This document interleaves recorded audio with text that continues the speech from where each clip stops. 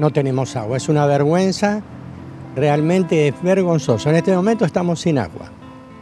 Estamos, esto eh, eh, eh, no pensábamos que ahora, porque antes le echábamos las culpas que podían ser las piletas, que, limpiaban las piletas, pero ahora ya estamos en una época que la pileta no se usa, entonces realmente es muy vergonzoso lo que están. Te da asco, ya te da asco. A mi edad, a los 73 años, ya todo esto me da asco. Es como si yo pudiera ir a romperle los vidrios, ahora, a esta altura de mi vida, voy y le hago un desastre. Eh, está, muy contrariado ¿no? con APSA. Estoy muy controlado con APSA, sí, sí, totalmente.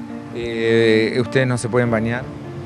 No, ahora eh, de noche podés este, solucionarlo, pero no es el tema, es el tema de, que tenés que tirar agua en el, baño, en el inodoro, todo eso. Ayer tuve que yo, que tenía un poco, tuve que prestarle a un vecino un, un balde, un balde de agua. Hoy ya tengo apenas un poquito de agua yo. ¿Usted creía que a 2016 tiene que prestarle agua a un vecino? No, jamás, jamás, jamás. Eh, a veces es, uno se pone nervioso cuando pasan estas cosas. Se pone muy mal porque nunca... Eh, eh, se han robado tanto y se van a seguir robando y le van a dar, le daban los subsidios y no hacían nada y ahora le sacaron esto, aumentaron, viene el aumento y tampoco hacen nada y no van a hacer nada tampoco. Lamentablemente estamos ante una eh, eh, sociedad empresarial, política, como se quiera llamar, que, es una asquerosidad ya. ¿Sienten impotencia? Siento totalmente impotencia, por eso me da ganas de romperle los vidrios. No, tranquilícese. Eh, ha trabajado toda su vida. La pucha, arranqué a los 18 años, tengo 73, me jubilé hace 7, pero seguí haciendo algo. y, bueno, ahora veo como voy perdiendo un montón de cosas.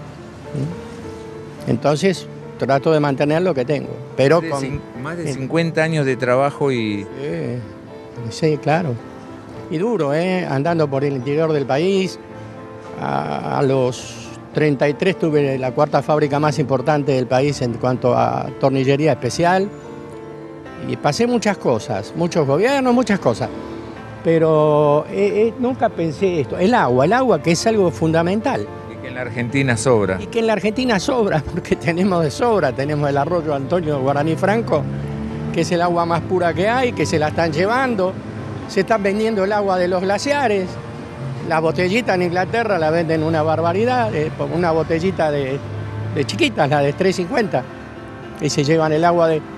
Primer napa, primer napa tiene un precio, segunda y tercera es otro precio, cada vez más caro. Recuérdame su nombre de pila. Arturo. Arturo, le agradezco mucho por esta nota y, le pido disculpas. ¿eh? Me da vergüenza ajena. No, claro, pero no se haga problema. Así que les agradezco a ustedes.